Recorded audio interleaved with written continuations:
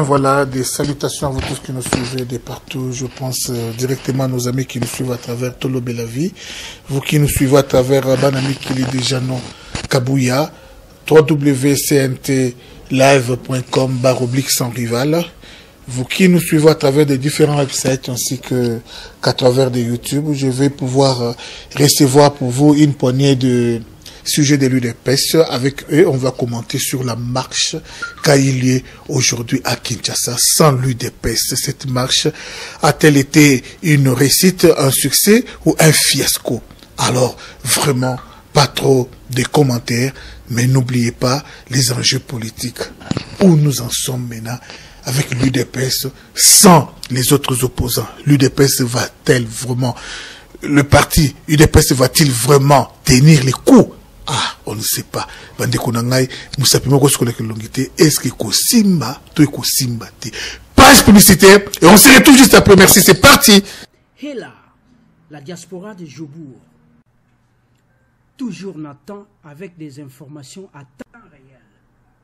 oyo peuple ya ndenge nini oyo soulevons nous totelima sans rival www.cntlive.com barre oblique sans rival sur CNT Live. Ah oui, de retour sur ce plateau, il y a solo, tozali na ndeko na biso tongo déjà lamba et de peste.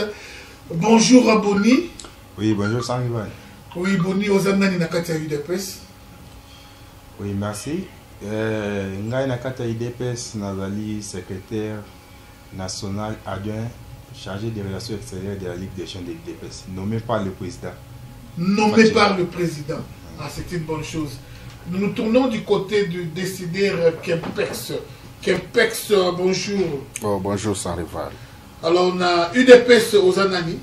Euh, kaka ndenge olobi wana euh, se le décider l'autorité morale euh, de la fédération euh, est la base euh, de l'udps en afrique du sud ah, c'est très bien alors vraiment euh, tokei epai na ndeko na ngai vraiment bomi tomekana kosola moke problème nini ekaboli bino na kati opposition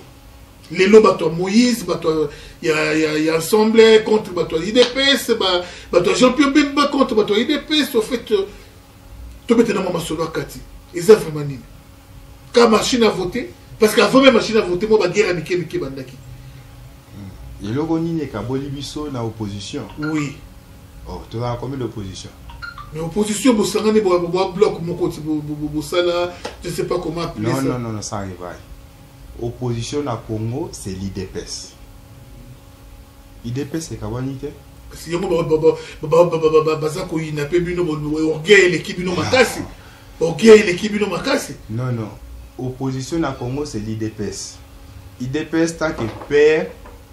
aza motema monene soki bana moko ba se rebelle na nga moso ngolo babengani bango olie bakoma na bashege idps azwaka po asokola bango alongola bango milimo ya kindoki nini mais heure moko bana baye bakanisi ke non bakomi bien balingi bakoma ko se rebelle bakoma ke non Opposition ekomi mais opposition eza kaka moko na ye na Congo c'est l'UDPS. Parabole yango makasi mais baninga botutaki tolo marche basali plein succès réussite bayoki na soni plein à craquer na nzela soki 100 000 personnes bino bayoki soni sarivati kotyola bato ko oh, bayaki plein po bato bamoni bango tika bozeli le peuple d'abord 100 000 personnes 100 000 tikotyola bango oyebi keno bazongi na bandako lelo oyo bamosusu babeti makofi na mesa moko ayebisi mwasi na bino soki nayebaki te makambo oyo ekozala bo mbe nakendaki te vraiment tomoni badrapo ebele bawe badrapo we badrapo nde wana kota badrapo wana tokoloba we mais bato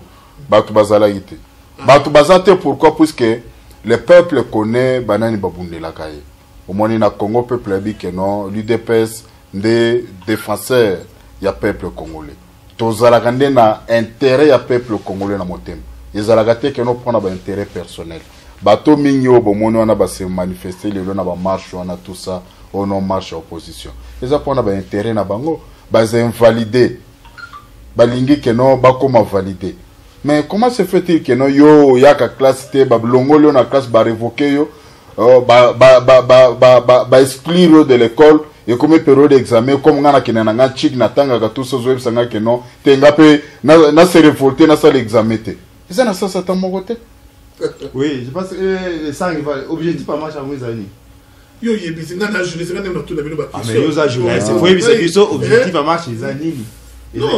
oyebi très bien objectif ya marche yo yebisa biso marche baninga esimbi biso toyebi ke eh. marche moko esami na congo bato ya pouvoir contre opposition hmm. donc c'est à dire bato moko basangani baza bato ya majorité contre opposition fati parce que fati azoya wana mpona élection mpo abotolo bango mosuni na monoko soki baninga ndenge nini bakóma na liboso ya permanence ya udps babanda kofinga fati babanda kofinga mama marte euh, ebandeli na ndenge nini mais baza bato ya kabila baza bato ya pouvoir oyebi ke non idps nde moto ezolinga eremplace bango comme bamoni ke mm, faci alinga abela na kabila na congo asa aresili kobela na kabila mpo kabila azo se présente na manda oyo te voilà comme Fatshi a réussi kobengana deja Kabila c'est-à-dire que Kabila soit accueilli baje na biso tosalaka esa nini esope vome tobanda tobandosa manduki na biso contre Fatshi ça monte c'est clair ah ben c'est clair tobeta nao maso tokota nao na détail tobandi nano na mike mokebai problème nini boye na mike mokebai azopupola bino makasi boye eh, problème nini au fait qui est mike mokebai c'est vraiment important yo ozalaka nani na congo explike nano bato bana diaspora ki ye mike mukebayi mike mukebayi mike mukebayi azali irresponsable moko ya garçon oyo azalaka papate aza irresponsable moko oyo nayebi ke abana na lingwala ti na age oyo na mandefu ya pembe na suki ya pembe aza na palais na ndako ya baparent na ye azala na ndako ya baparent na ye bawelaka fufu ya malili na bandeko na ye epuis baswanaka soki okeye chaque 18 heures okuta ye atie kiti liboso ya lopango hmm. Babeta masolo, babeta la carte ya jeu ya mbongo na age na ye wana mais azomibenga journaliste. Est-ce que makambo ozoba eza ya solo? Soki nakosi obengi mon ami Alain Mubenga aza baza balabala moko na ye mpo ngai nakenda kotala masi na ngai me nango nde bazoswana bazowela bitabe jour mosusu yango oyomaki o oh, oyo oh, bitabe na ngai azowela bitabe mais ngai mais mutu aleka na tv pona kosala ba commentaire eza oyo to mususu obatika oyeyi wana avanda wapi oyo avandaka awa chez bango chez ye to chez bango chez bango serge kindomba ozolanda ngai na moma oyo eza ya koyinda vraiment serge kindomba benga biso mpesa biso baprécision ebele sur euh, vie oyo mike mokebai amenaka na congo ndeko na ngai on ne va plus revenir sur du déjà entendu et ouais. du déjà vu tel que pourquoi la machine à voter pourquoi pourquoi pourquoi on en a vraiment parlé vraiment ya mingi lelo lelo kaka na même angle mais tozolobela makambo misusu idps akokoka martin fayulu aza te moïse katumbi aza te ba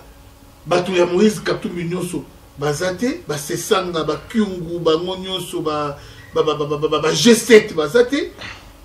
Muzito aza te, Jean-Pierre Bemba aza te, est-ce que Fatshi akokoka? Bon, ce qu'il faut reconnaître est que bato nyonso to otangi wana, cela ne veut pas dire que non, euh, bazo porter UDPS na motema na bango te. Mingi oyo otangi wana baza nsima ya président Fatshi. Mais par l'engouement ya circonstance ndenge eza balingi kobimisa yango te mais nazoyebisa ke non la majorité ya bato mingi otangi wana baza nsima ya président Fachi donc au moment opportun se rallier derrière le président de la république ne vous en faites pas ce qui est vrai n'est que non l'udps nous sommes on s'est toujours préparé non pas en fonction ya mais d'abord nous comptons d'abord sur nos propres efforts Et tant que parti politique nous comptons sur nos membres les combattants de l'UDPS d'abord. C'est ça l'UDPS. La preuve en est que non, à chaque instant que non, quand IDPS a lancé un mot d'ordre, nango, bomonaka masse ndenge nini ekitaka na balabala. Nous ne voulons pas nous comparer que non, voilà, bomonaki eloko ndenge basali bona bo tout ça banini. Loin de là, eza ba to babiloko ya mike mike. Au président na biso alobaka déjà non moi ba match amical. Wana kutu bozomona eza eloko te. IDPS peut faire plus que cela.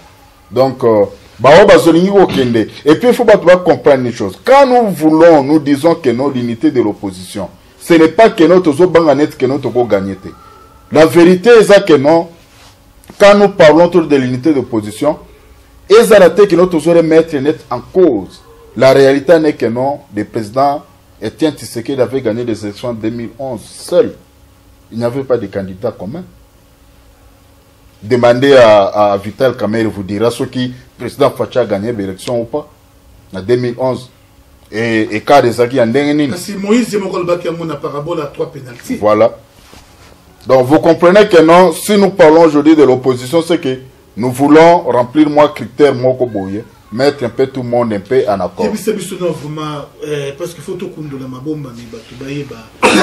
moïse katumbi babebani na fati mpo ya nini mpo totika mpe kokosa bato courant eza bien te eza bien te entre félix na moïse avant même makambo ya bamachine ya vote oyo udps se prononce bakokende na baélection mais courant ezalaki toujours bien te moïse azotonga félix na ndenge ajete ngai nananga sans rival nalobaka vérité kote mpe idps kote ofaci mpe omona mpe boye atongaka mpe moïse bon yebisaka baweleli nini baweli mwasi to baweleli niniriva nako rectifie eloko moko ane keno le président faci il n'a pas le temps Je dis bien que non, aza na temps te ya kovanda azwa sujet ya mutu moko bwachango na mesa bando lobela ngo. Non, il n'a pas ce temps là. Aza na temps mingi concentré que non comment faire sortir le peuple congolais dans la pauvreté donc makanisi ne mingi voilà donc voilà donc voilà c'est ça c'est ça c'est ça le président Fatshi ce n'est pas l'état ya kovanda na mboka bistro bakare moko ya mike mike eh, que non alobaka que non voilà moto kingani bona bo il n'a pas ce temps là c'est pourquoi soki ovandi na ye mwa mingi oyoka toujours solo ngo balikambo lobi non non non laissez ça non c'est quelqu'un que je connais il va toujours parler de bien aza moto aza na niveau mosusu aujourd'hui nous parlons le président faci aza niveau moko na bato oyo nyonso tu baza na opposition bazolinga te bamitya na égalité na ye ah, baza conscient keno aza na niveau na bango te baplace ye azokoma bango bakokoma yango te ce n'est pas un hasard je crois je pense que mais alobi que non babebani bazalaki nanu banani mais bazali bacamarade bacamarade tomona bango nano etienne tshisekedi aza nanu vivant basimai na loboko mpasi na yo mpasi na ngai eh, eh, malamu soki nini na yo ya ngai balobi na swahili na chiluba na boye bazalaki bacamarade oyebi ke eh, relation stratégique ezalaka mpe mpo kikamarade ya kimokolo ezalaka te ça arrive pas ndenge nga aza boye nga boni nakokoma na nga na age nakomi nango peut-être nayebi oza vie okomi kaka camarade na nga ya kiki mokolo ekozala elengi te hmm. mais il faut tozala camarade moko stratégique soki toza na objectif hmm. ya atteindre mpo ntango obetake moïse na faci bazali bacamarade bacamarade na mbula nini mpo ngai napesa mwa historique moke na 2015 nga na kati ya delegation na katanga place oyo moïse ayebi force ya faci mm. na 2015 na katanga eh, moïse aya gouverneur moïse kabila apesi ye ordre faci akita te mitinga esalama te donc eh, babloke biso mm.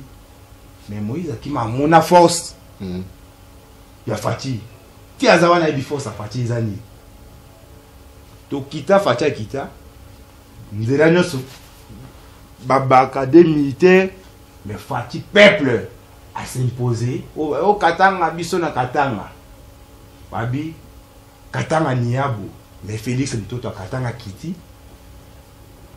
peuple a s'impose baboyaki stade mais peuple azwi terrain alobi soki moïse yo oza mobali quelque part bino mpe idps boza bengra eh.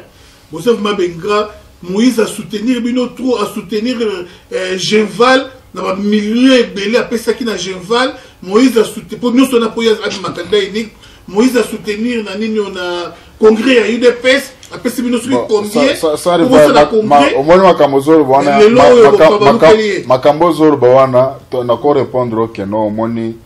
euh,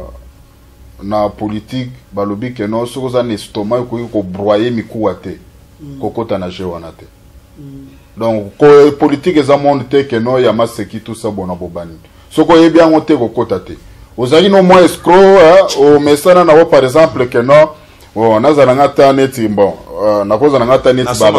bagouverneur eh, comme ça nakobanda kolekela bato mwa mive mive nalingi koyoka te coopération ebimi boso nayoki keno taxi bis moto ezofula mikolo oyo nga mpe nasomi bataxi bis etake gouverneur ozo comprendre mm. so bayebisi ngai no mikate nde ezofula nga mpe nasombi, nasombi ba mafuta farine nakomosala mpe mikate nakomoteka il faut il faut kotuna mpenza bato na katanga oyo bango bamonaki oza comprendre il faut se limiter na babiloko cela ne veut pas dire que non soki ozwi mwa moke moke mbala moko ke no okomi politicien mpo ozala politicien fo ozala mpenza oza na na estoma wana ya, ya kovivre na kati ya politike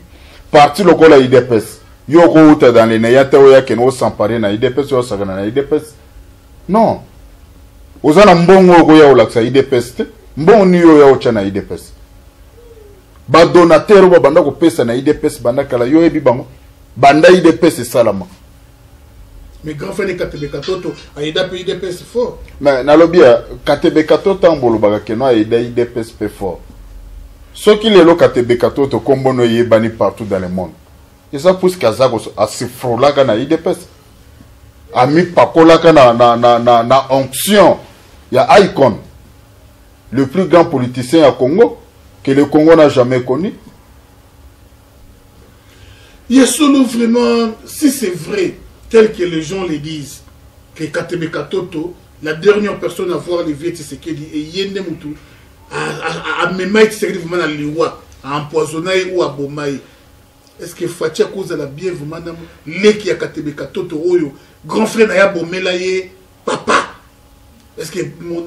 Félix tu sais pas tout le monde a Félix bavandi na Katebe Katoto place moko na matanga mama Olangi Félix ata kutu mbote ya pamba oyo namona bato ya charisme anga ye bayina baluba na raison bayina baluba na raison charisme wana na costume ndenge evandaki aotala ata katebe katoto te ameli katebe katoto na niveau moko impossible eske eyebisa ngai katebe katoto makila vrema ya moïse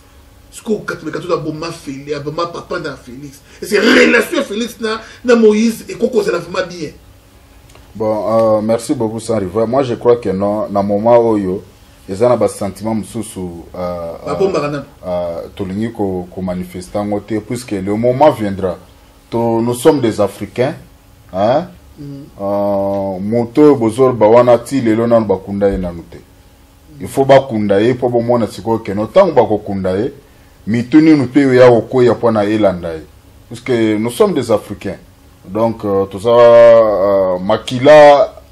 Uh, nzambe alobi ke non la vie c'est dans le sang mm. soki okati makila ya moto okweyisi yango na se nzambe alobi ke non makila ya kingandi ezolela makasi mpo na yo donc mais tozala nano mpe uh, na patience à poser uh, le temps viendra ntango tokoenterre icon nde peut-être bamasolo mosusu oyebi ke liwa ya, ya, ya tshisekedi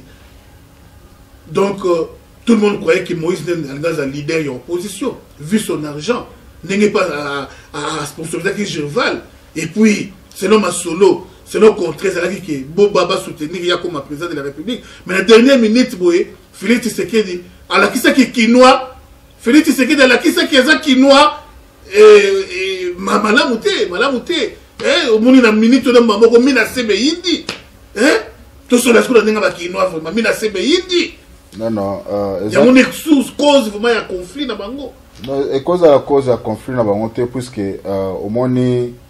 euh, en politique on se fait pas de cadeau on se fait pas de cadeau ye kaka ke nor te napesi yo zwango yango okende nango banini non na politique okobunda olakisi bepreuve na yo tu vas il faut démontrer de quoi tu es capable eh, uh, felix aza moto avandaki na ekole oza comprendre avandaki na ekolo ya monene ekole wana donc uh, c'est la meilleure bibliothèque oyo etikala kozala na congo école de formation yango wana ezalaka susu te sikoyo ye azalaka sikoyo nete élève moko asudi c'est tout à fait normal que non abima ndenge abima ekole bon omoni omoni omoni ekole nini boni baloki bien te ekole ya tricherie voilà merci beaucoup kandenge alobi yango ah, ye moko moto ozotanga wana alobaki eh. ke non kuna ezalaka ba faux penalty donc kuna ekolo ya azalaki ezalaki ekolo ya, ya, ya fausseté mais, mais sans rival quelque part tozala mpe motema malamu ozwi faci ozo compare ye bawela poste ebonga moko boye ya mm. leader mm. ya opposition na, na katumbi mm. est ce que vous trouvez ça normal ah, na, mm. ata na sens ya kindoki te euh. même na sens ya kibungutu normal tolongo nanu soki meme ah, euh, ndoki oza ndoki olokaka mm. oza ata motema mabe mais tozwanga na sens normal ozwi fati aza na base mm. net udps aza na parti ya monene eza mieux implante na congo mpe na euh, na afrique mobimba na monde mm. ozwi moïse moïse katumbi auti obima na aza fresh na solo ya ya vol na nzoto na ye mm. elati ye nsolo moyibi eh, ayibi iranium abomi ateki asali boye aye lokola ayibi mbo ya iranium oye otya yango oza na parti politique te oza na base te absolument rien tozwa na base mazembe mais wana eza base politique te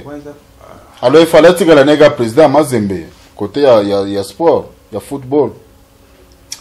Eh ben, il nous reste moins de 5 minutes Vraiment. avec euh, Boni Oyo Azali cadre ya UDPS, la niveau jeunesse et le décideur Québex. Vraiment, l'UDPS, le futur, na mboka na biso toyebi te toyebi te opposition lelo bato bazoloba opposition epazani Québex lecture na yo ya makambo eza ozomona ndenge nini dans, dans 2 mois 3 mois 4 mois 6 mois ozomona makambo ya kongo ndenge nini sans rival nous devons souhaiter avec euh, toute énergie que nanga puisse tenir son pari ya kodélivrer élection Euh, vient le 23 décembre. Et à ces élections, euh, nous pouvons déjà annoncer que non, le président Félix Antoine Tshisekedi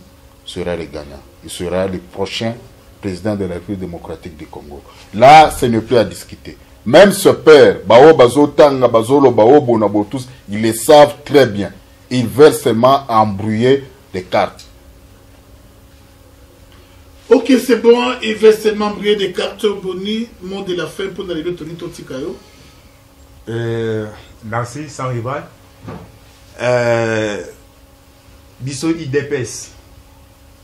na base mobimba na président na biso toza wana toso s'engage na va élection avec ou sans machine idps cap vers les élections élections tozokende je pense pas que non idps ndenge azokende élection ekozala ndenge mwana 2011 parce que toza na expérience ya boycott ya 2006 toza na expérience ya tricherie ya vol ya victoire na biso ya 2011 mais oyo ya troisième ça passe ou ça casse c'est-à-dire quoi na niveau ya parti tozozwa baprécaution nyonso mm.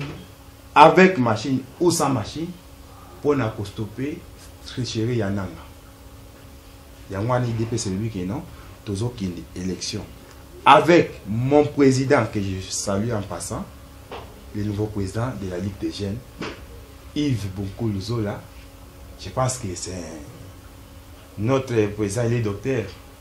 c'est intelligent, je pense qu'il a s'organiser avec toute la jeunesse congolaise à cause ça va explorer. Vraiment merci beaucoup euh, des petits coucou à qui Maman Mbote, Mbote na banda ni susu. Ah, nazo pesa Mbote na prière ya munene na président na ngai. Eh, les jeunes leaders infatigable. Mm. Donc Mabou Pembe